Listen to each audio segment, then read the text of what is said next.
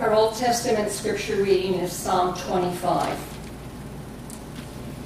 To you, O Lord, I lift up my soul. In you I trust, O my God. Do not let me be put to shame, nor let my enemies triumph over me.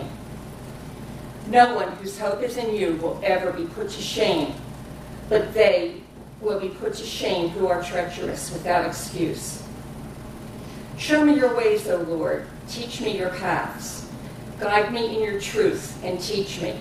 For you are God, my Savior, and my hope is in all in you all day long. Remember, O Lord, your great mercy and love, for they are from of old. Remember not the sins of my youth and my rebellious ways. According to your love, remember me, for you are good, O Lord. Good and upright is the Lord. Therefore, he instructs sinners in his ways. He guides the humble in what is right and teaches them his way. All ways of the Lord are loving and faithful for those who keep the demands of his covenant. For the sake of your name, O Lord, forgive my iniquity, though it is great. Who then is the man that fears the Lord? He will instruct him in the way chosen for him. He will spend his days in prosperity, and his descendants will inherit the land.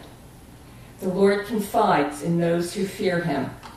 He makes his covenant known to them. My eyes are ever on the Lord, for only he will release my feet from the snare. Turn to me and be gracious to me, for I am lonely and afflicted. The troubles of my heart have multiplied. Free me from my anguish. Look upon my affliction and my distress, and take away all my sins. See how my enemies have increased and how fiercely they hate me? Guard my life and rescue me. Let me not be put to shame, for I take refuge in you. My integrity and uprightness protect me, because my hope is in you. Redeem Israel, O God, from all her troubles. The word of the Lord. As we come to our time of prayer this morning, Tom, we prayed for you. You're back. Prayers for continued uh, as you do your therapy. Kathy? I'd like prayer for Jan's grandmother and grandfather who have some very big decisions to make. That's Archie and Russ Brown. Also, her Uncle Dan and Aunt Lisa. Uh, her Aunt Lisa has only been given a few weeks to live. She has cancer. And tomorrow, Bordentown Regional School will begin their four week camp. This is going to be a very new process for all of them. I know that many of the counselors are very nervous, and I just pray that it goes as well as Jody, the director, is hoping it will, and be with all of those because they just don't know what they're doing. Right, right. It's a new experience Yep. for everybody, so Yep. let's just pray for their safety and the safety of the kids. Uh, Eleanor? Uh, we have a friend, um, he's from high school years, um, and he and I were working on this reunion, which we had to cancel for this time. It'll be the 61st reunion next year. However, his wife has just been diagnosed with fourth stage lung cancer. Her name is Jan Onis, and I'd like prayer for her. I'm sorry, Janet Onis. Okay. And want to ask for prayers for the family of the young man who was killed on a motorcycle yesterday on Route 130. I believe his family's name is Lotito. And my sister-in-law happened to be there, and she was with him at the end and held his hand. Oh, so prayers Jesus. for him also. He was 24. Barry? Pray for the family of Tori Mill, longtime friend, who passed away last week from spinal cancer. Eileen? Uh, John's having surgery on Thursday.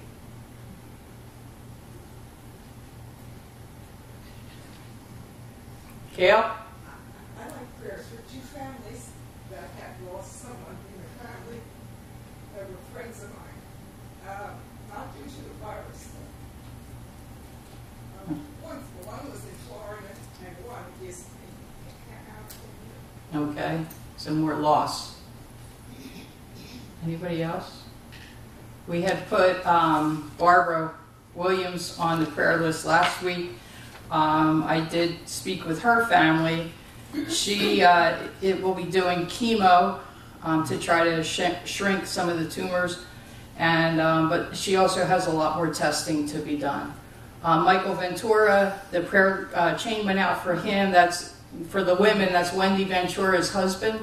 Um, he had triple bypass, and he had other congenital issues that they were able to correct with surgery. But he made out okay. Um, he has one more surgery to endure. Um, the what makes it especially difficult is that he is also a dialysis patient, so there's so many issues going on um, with him. But the last time I spoke with Wendy, he was he was recuperating and doing well. Anyone else? Let us then go to our God in prayer.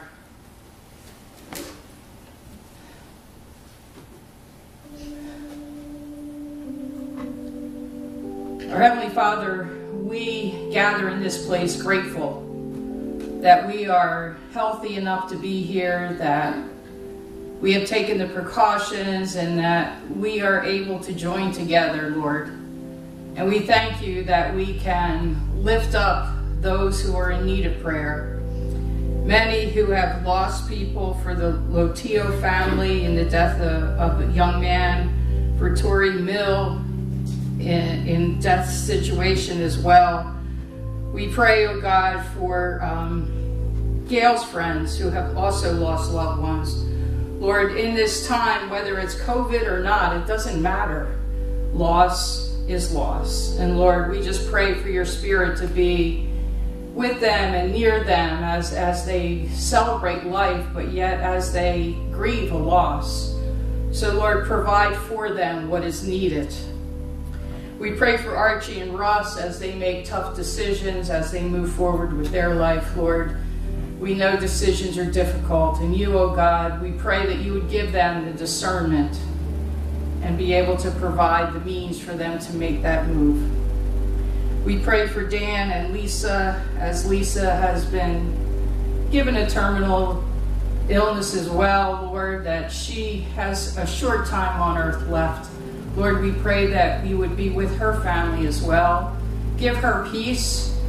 Let the those caring for her know that they are doing the absolute best that they can. Lord, we lift up all the camp counselors and the campers that will be going to Bordentown camp. Lord, things are so different, Lord, so we don't know how it will go. But we pray, oh God, that with all the planning, oh God, they used your discernment, that each and every child that comes will be safe, that they will enjoy their time, and that each of the staff will remain safe as well, Lord. That this will be an enjoying time for all of them. We lift up John Kryling as he faces surgery this week as well, Lord. We pray that you would be with his physicians, with his surgeons, so that it can be done complete. And Lord, we pray that his healing would be swift as well and that you would be with Eileen as she waits for an outcome as well. Lord, so many in our community are still suffering from unemployment, and we pray, oh God, that, that the doors would be open for them as well. That those who need care get the care that they need. And Lord, that you would move us as your disciples. That if there's an area where we need to reach out, Lord, that you would direct us to do so. So, Lord, continue to be our guide as well. Help us help one another and always to look towards you for that direction, for that encouragement, for that leading as well. We thank you and praise you in Jesus' name. Amen.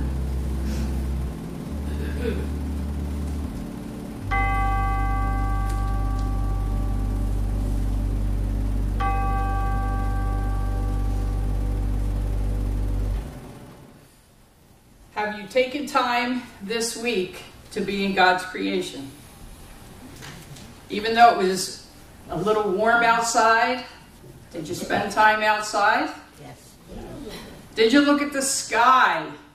Yeah. I had a rainbow alert yesterday. Did anybody see the rainbow? Two. Couldn't see it from my house. It was a double.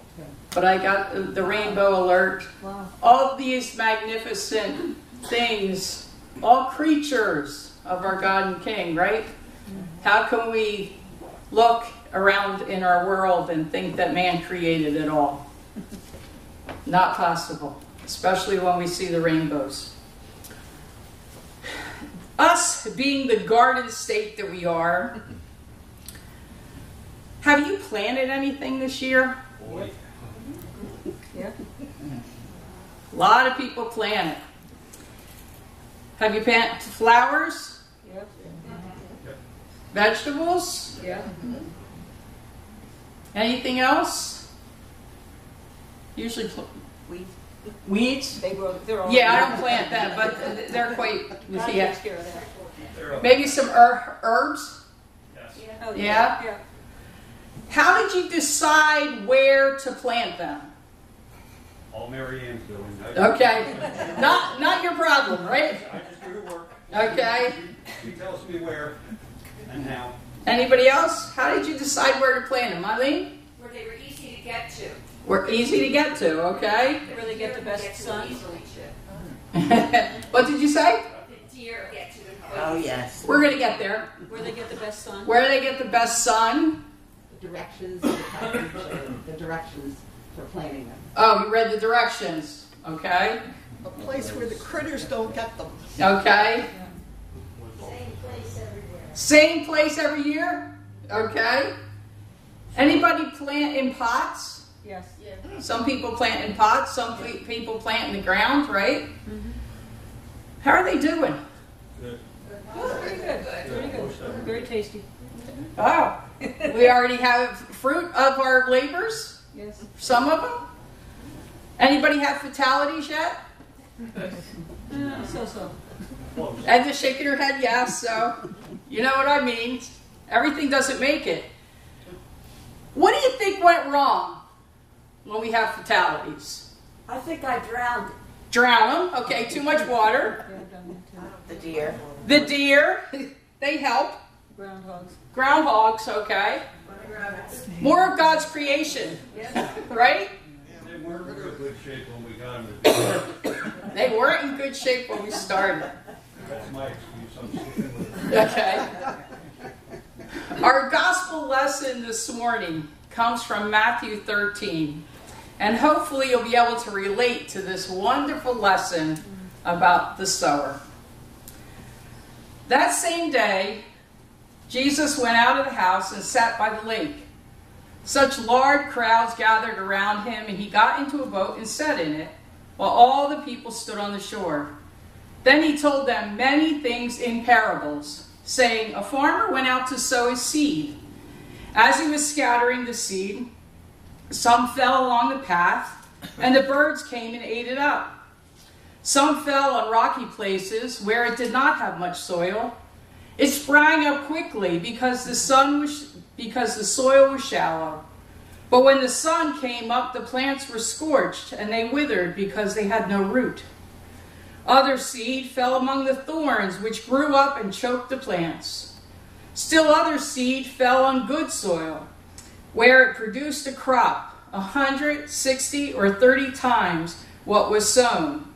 He who has ears, let him hear. Listen then to what the parable of the sower means. When anyone hears the message about the kingdom and does not understand it, the evil one comes and snatches away what was sown in his heart. This is the seed sown along the path. The one who received the seed that fell in rocky places is the man who hears the word and at once receives it with joy. But since he has no root, it lasts only a short time. When trouble or persecution comes because of the word, he quickly falls away. The one who received the seed that fell among the thorns is the man who hears the word, but the worries of this life and the deceitfulness of wealth choke it, making it unfruitful. But the one who received the seed that fell on good soil is the man who hears the word and understands it. He produces a crop yielding a hundred, sixty, or thirty times what was sown. May we be blessed with the reading and the hearing of this word this morning. Now, in our parable this morning, it's all about the dirt and the location, of course. For that location determines the condition of the dirt. Four different locations Jesus gives the path, the rocks, among the thorns, and lastly, what Jesus calls the good soil. Now, I think that all of us in the garden state can relate to this. If we're going to plant something, we just don't plant it anywhere. We actually have a plan. We actually think about what it needs, or we listen to our wife. full sun or part sun, shade or full shade. Sometimes it needs a lot of water, sometimes it only needs a little. Will it need to be watered frequently? Will the deer, rabbits, squirrels, or groundhogs like it before we get a chance to enjoy it? For most of us, it's not a necessity that we plant anything, is it? For if we really wanted something, we could go to the market and buy it. However, some of us enjoy the whole process, don't we? We enjoy the process of preparing the soil sometimes. We enjoy the process of planting the seed or the plants. And then we enjoy caring for it, watering it, maybe weeding it. And then being able to enjoy the harvest. And some of you enjoy sharing that harvest as well. And that is a blessing. But I will guess, if you are anything like me, you've experienced failure in your planting. Perhaps you then changed your plan. Maybe start with plants this time instead of seeds, or start with better plants. Or you moved it so that the animals didn't clean you out. In our parable today, we learn that the dirt represents us. But before you panic, you all know that we are more than just dirt, right? We have the capacity to grow when the seeds of God come our way. But sometimes other worldly things prevent that from happening. There are times when our lives when nothing will grow, for our hearts are not open, or they may have even been hardened by some of the circumstances in our life.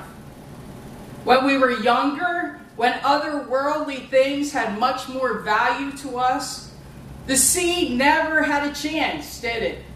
It was choked out by those worldly things.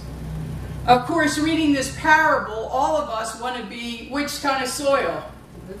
We all want to be the good soil, don't we? We don't like to admit that sometimes we've been the other types of soil, but we have been. Our goal should be to be the good soil, to be receptive to the Word of God, able to understand and then be the producer of a great yield, of a great crop. But the truth is, at different times in our lives, we have been each of those kinds of soil. When we were young and hearing Sunday school lessons, we didn't understand exactly what it meant that Noah made an ark. We didn't quite understand about Jonah being swallowed by a big fish. We didn't quite understand the meaning of it. But we were young enough to, to pick up the story and to be able to repeat it. But when we got a little older, perhaps we walked away from the church because we didn't have roots that held us here. If we were not able to understand we needed others to come in our way to help us to grow in that understanding. That when the seed is planted, it would continue to grow, it would continue to be nourished, and it would continue to grow deep roots. Many of you know that many a child was brought to church as youngsters, but they have since fallen away because the world has a tighter hold on them. Perhaps when they grew up, they ventured back to the church to get married, or when they added children to their family, they wanted their children to hear the same stories that they heard. And hopefully, when that happens, they'll be able to nourish that story, be able to teach their children a little more so that they get more understanding. Some adults even fall away. Let's not blame it all on the young people. But adults fall away as well when they face crisis or when they feel that they have let somebody down, when they feel that God has failed them. Sometimes people turn away from the church and away from God instead of coming towards God the way that they should be coming. What I want for us to remember is that the source of the seeds will never stop sowing. The source of the seeds will never stop sowing. If there are times when we have failed to be in the good soil, we have not missed our chance to grow forever. For when our circumstances change, the seeds that will be sown may start to grow in us once again. Our God will not give up on his creation. He will certainly not give up on his children, even when we fail him, when we turn our backs on him. God will constantly be sowing the seeds to give us every opportunity to grow and to flourish. It's only a matter of time. We are all more than just dirt. We are crops just waiting for the seeds to be sown. Amen. My prayer for all of us today is that we realize that we're more than just dirt. We are opportunity just waiting to bloom. So take time. Take time to listen to God's word. If you need nourishment, look for God's word. Read your scripture. And through the power and the love of our Lord, we will grow to what He has destined us to be. Let us go and remember that this day. Amen.